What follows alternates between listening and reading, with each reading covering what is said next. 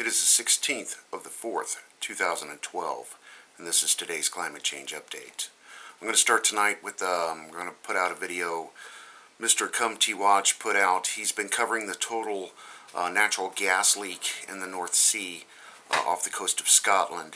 He's discovered a picture, or he was, it was brought to him, his attention a photograph from the International Space Station um, showing a huge plume of methane gas and other things coming out of the sea uh, off the coast of Scotland. I will connect a link to this. I would uh, ask my smart people to come look into this and to verify uh, is this really going on because if this picture speaks volumes, um, we have some serious situations on what is a news blackout in the total gas leak in the North Sea off the coast of Scotland.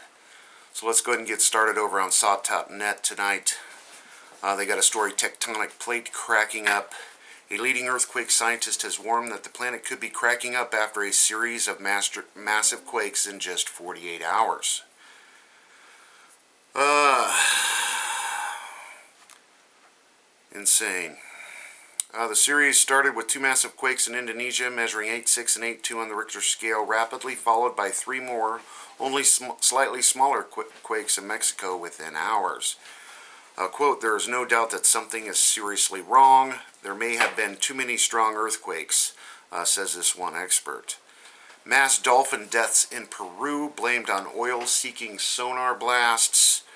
Uh, the deaths of thousands of dolphins that washed up on the beaches in Peru may have been caused by acoustic testing offshore by oil companies, conservatives have warned and over 3,000 animals were found. Uh, this is record numbers, uh, be mass beachings of dolphins ever recorded.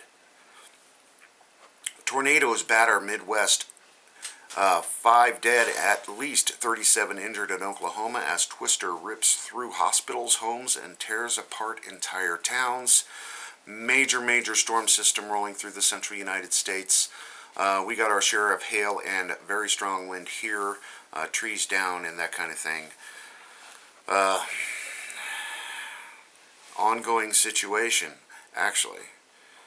Incredible images show giant sinkhole in Sweden keeps expanding. Uh, looks like it's taken straight out of a horror movie. An enormous hole leading to hell, some would say, but this is not a movie. Uh, this is real and dangerous phenomenon. New shocking images clearly show the enormous pit in Sweden is expanding, and they got some very um, dramatic pictures there as well. Uh, the earthquake on the 15th, 6.2 off the west coast of northern Sumatra, a very seismically active area, and again another 6.5 in Vanuatu, uh, leading up to that one story I started off with. Over to the extinction protocol, Mexico sleeping uh, Pampa, the, the volcano outside of Mexican City awakens again uh, the nearly 18,000 foot volcano that hovers like a sentinel on the southern fringe of Mexico's capital awakened again Sunday, punctuating an especially shaky seismic season. Popo, as the mountain is widely called, spewed at least seven exhaustions overnight on Saturday and through the day Sunday, sending vapor, smoke, and gas billowing into the clear sky. Um, very, very much so, this volcano is gearing up. I've been letting you know for weeks now. Two volcanoes in Co Costa Rica, Costa Rica now reporting increasing activity. Thursday last, the Turrialba sent experts scurrying to analyze the recent activity at the Colossus southeast of San Jose on Saturday. However, the Vulcan Rincon de la Villa decided on a rumble of its own when around 2 p.m. when residents heard the rumbles from the volcano located north of San Jose province. Uh, so they've got volcanoes gearing up around them. The drought in England could last until Christmas. A drought affecting parts of England could last until after Christmas, Britain's Environmental Agency warned on Monday, as rain over the spring and summer is unlikely to replenish low water levels. In a country more usually associated with damp and drizzle, drought has been declared in 17 counties in England's southeast and central regions after two dry winters left rivers at ground water and groundwaters depleted. Uh, they are in serious water shortage there as well. And then, of course, they've got the war drums and the economy stuff going on. Over to the RSOE. Um, let's see. Volcano activity in uh, Mexico City. Extreme weather in Iran, they're reporting uh, torrential rain, heavy storms, that kind of thing. No reports of injuries, just some unusually uh, heavy uh, rainstorms for that time of year. And of course, the tornadoes rolling through the state of Oklahoma. Uh, that's about all new they have going on tonight. Over to the nuclear stuff now. ENENews report TEPCO will start covering number four spent fuel pool tomorrow. Took them a whole year to figure that out. Um, government admits for the first time all nuclear reactors will be shut down in Japan. 45 years since no plants were operating in the country. In May, the last plant goes down for repairs, and uh, Japan is going to discover quite happily that they can do just fine without nuclear power.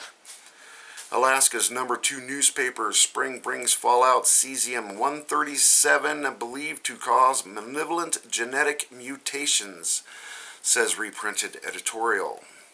And they've got a lot of nuclear fallout up in Alaska, British Columbia, and the entire west coast of the United States, along with that radioactive tsunami debris coming your way very soon. Uh, I got a story book. Reactor number four deformed in front of our eyes, says Fukushima worker. Walls morphed like a special effects from a movie. No large explosion, yet the building was destroyed. And uh, if that pool goes, number three is already shot. Revealed, refrain from saying things.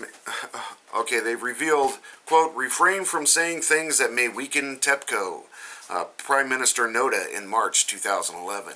And I believe, isn't this the guy who's going to be Japan's savior now? Uh, Kyodo movie to restart, move to restart reactors blasted as misinformed haste. Government under fire from public experts. And I've seen some of these meetings. They're not listening to the people. They're doing whatever the hell they want. All nuclear power in Japan may come to a halt. Thankfully, government failing, uh, failing in effort to restart Oi reactors before final plant shutdown. Chances are remote they'll get this started. Let's hope so. People are already talking about blocking the entrances to these things. And uh, they're making a great big stink about restarting these two reactors, as they very well should. Uh, TEPCO's reporting another thermometer breaks at Fukushima. Now only one left at the bottom of reactor number two pressure vessel. And again, they are using um, computer models um, to figure out what's really going on in there when they have absolutely no clue. And if they do, they're definitely not telling us. Senior local official warns, quote, it is necessary to provide them with permanent medical treatment. Our residents will be plagued by worries about their health from Fukushima radiation exposure. Uh, yeah, that's definitely an understatement. We're starting to hear rumors about them actually making a deal with Russia and China uh, to move 40 million Japanese civilians uh, out of harm's way, including the city of uh, Tokyo. Um, but that again is unconfirmed at the moment. Uh, TEPCO checking levelness of number 4 spent fuel pool just now. And now 20 Quakes centered in Fukushima beginning with a magnitude 5.9 and just over 24 hours ago. Consecutive magnitude 4.4s in the last 30 minutes. Um, very seismically active area again, and they provide a link to uh, Japanese earthquake sites so you can see the, the, the, earthquakes that are just happening in Japan, and that kind of helps you narrow down a big picture of uh, what the USGS is not showing us. And uh, we can keep an eye better on what's really going on in Japan. Japan Times headline Machine fell into MOX spent fuel pool. TEPCO highly dangerous mix oxide fuel. Um, of course, the, the big crane used to lift out this stuff uh, fell into the fuel pool number three reactor. Uh, that that pool is in quote unquote rubble, um, and they can see the girders and stuff on the bottom of the pool. Thankfully, number three wasn't nearly as full as number four. Um, but the point is, the, the pool is destroyed, the reactor's destroyed, and they can't really get near it to do anything about it yet. Um, continue to eat your Pacific seafood, people. Uh, everything's completely under control.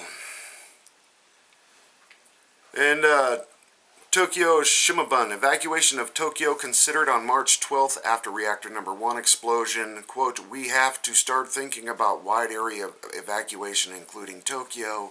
And these are people telling people to get out last year. Get the hell out of there uh, before things get too bad. But uh, unfortunately, all of these poor civilians in, in um, Japan have been exposed to high doses of uh, nuclear radiation uh, due to the TEPCO incident and uh, the Japanese government's cover-up uh, because it's just too damn expensive to move all those people. It's not cost effective. They'd rather watch you die. And uh, yeah, that's about all new I'm going to cover today.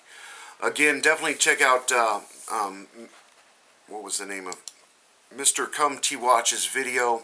Uh, he's been fairly reliable uh, as far as my end watching his shows. Uh, he's the one covering the total gas leak off the coast of Scotland. Um, very dramatic picture.